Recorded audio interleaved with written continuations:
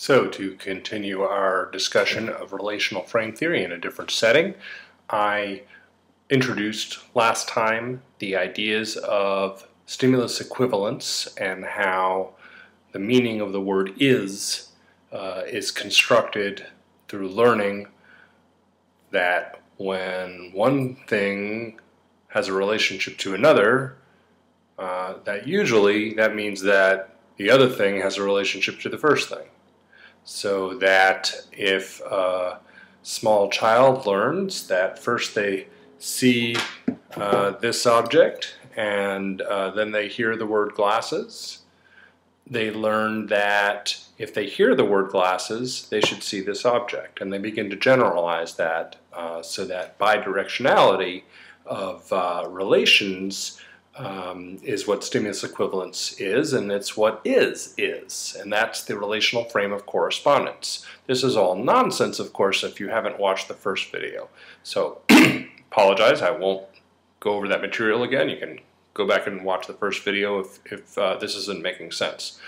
Uh, but essentially, uh, although it is very intuitive, we are the only animals in which uh, one can readily demonstrate that there is derived relational responding, that there is a derived relation uh, that is not taught, that if uh, the sound glasses precedes the stimulus, then uh, this stimulus will evoke the sound glasses, and so forth.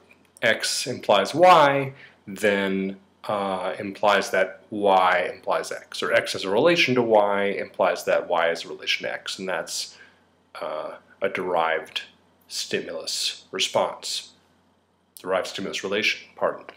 So to understand relational frame theory and why it's important, I left off saying let's that we're going to talk a little bit about why we should care before we even go on and elaborate uh, relational frame theory and talk about other relational frames, talk about the arbitrary applicability of relational frames and other properties of relational frames. Let's talk about why we should even care in the first place.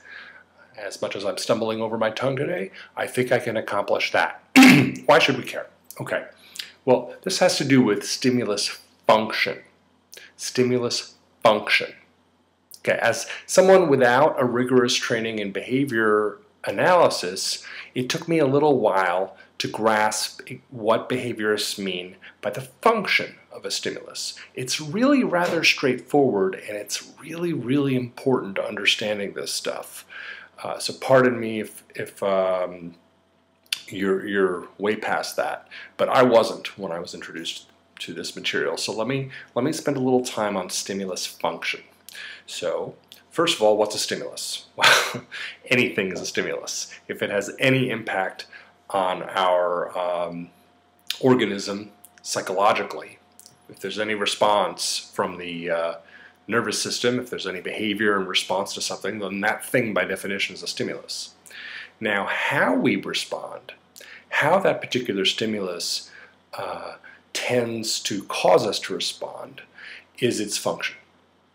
So the function uh, for most of us for a pile of rotting rodents is to disgust us, to nauseate us, to make us move away from it, uh, to evoke disgust. Oh, okay, that may not be the sake.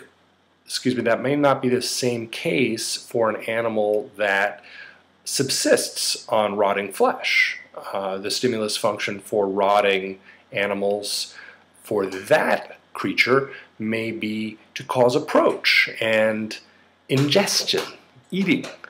Uh, for us, it usually evokes disgust. That's the function of the stimulus. So, what differentiates us from animals, and this is why I call RFT earth shaking and really, really exciting is because I, I, think that we finally understand what really makes us different from animals and what language really is and why we call our communication language and while, why we don't call animal communication language. This has taken some time to understand, and I think we now understand it. Um, so, um, there are arbitrary and non-arbitrary properties of stimuli. Okay, let's talk about what we mean by that. A pile of dead rodents has non-arbitrary stimulus functions. It stinks. You look at it and it looks disgusting. The function is from non-arbitrary, actual, real, directly palpable physical properties of the stimulus. It stinks, it looks disgusting, and it has a powerful function of evoking disgust in us. Okay, now that's true of an actual pile of rotting, slimy rodents. Okay, but how many of you are actually at this moment feeling a little bit of disgust when I talk about a pile of rotting, stinking, jelly like, pulpy rodents? Raise your hand. Anyone out there actually feeling just a little bit disgusted by this description, or maybe just mildly repulsed, or maybe kind of just wishing I would stop talking about it? Okay, that would be arbitrary stimulus functions. Because if I switched languages, ואם אני מתחיל לדבר עברית למשל, ואתה לא מבין מה שאני אומר, when I switch back to English, you're actually going to have some functions associated with uh, what I'm saying apart from the non-arbitrary stimuli functions.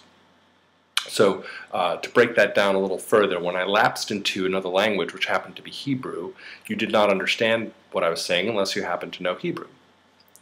Uh, the, the stimulus functions of those words were probably not arbitrary. They were probably just because of how they sounded.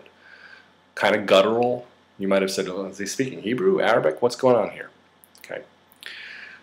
Uh, to get a little bit more dialed in, if I take a single word and I say the word to you and I say michabel, michabel, it has non-arbitrary stimulus functions if you don't know Hebrew.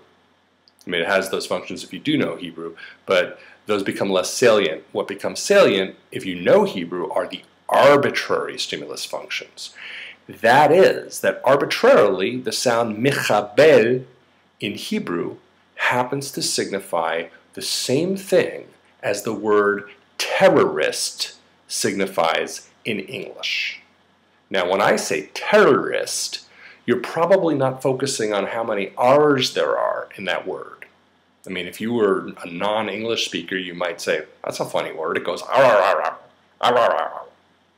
Okay, those are non-arbitrary stimulus functions. But the word terrorist has a lot of arbitrary stimulus functions.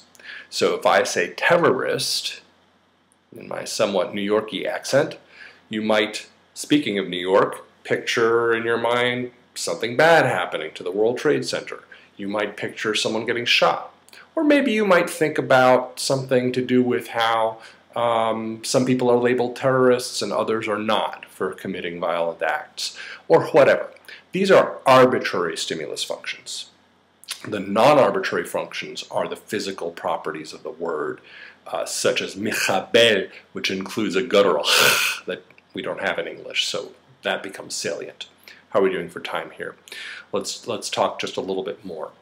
So, uh, words have these functions arbitrarily such that if I talk about a pile of steaming, stinking, dead, rotting rodents, that may evoke disgust. But that's not, that is an arbitrary property of that uh, expression that I just stated.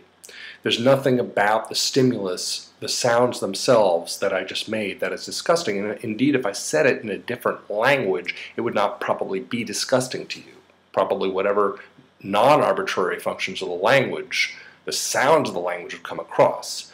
So, uh, you know, if I start speaking another language um, and uh, uh, said something like, um, um, 我把你的房子烧了，你 You might say, well, that, that's an interesting sounding sentence, but if you knew Chinese, you would know that I just said, I burned your house down. Okay, so you can see how different those two functions are. One just sounds Chinesey, that's the non-arbitrary function, and the other arbitrarily, because language is arbitrary, has a completely different function. If I told you, hey, I just burned your house down, you might think that was funny if you didn't think I was being serious, and that would be the function, to amuse you. Or you might find that upsetting in some way if you believed me. But that's, a, that's an arbitrary property of the stimulus of uh, the sentence, I just burned your house down. So I think we've taken that about far enough, but I think that's an important piece of the puzzle to really getting why RFT is so cool. And that's what I want to get across to you by the end of this series is why I think RFT is so cool. If, if there's any takeaway, that would be it. Um, for better or for worse, one has to get all these pieces together uh, to see why people like me think RFT is really cool and potentially really, really useful for learning ACT. So we shall soldier on in part three, wherein I will talk about some other cool properties. Cool to me. I mean, that's talk about arbitrary. Some other cool properties of um, relational frames and how they work and why they're important. Thanks.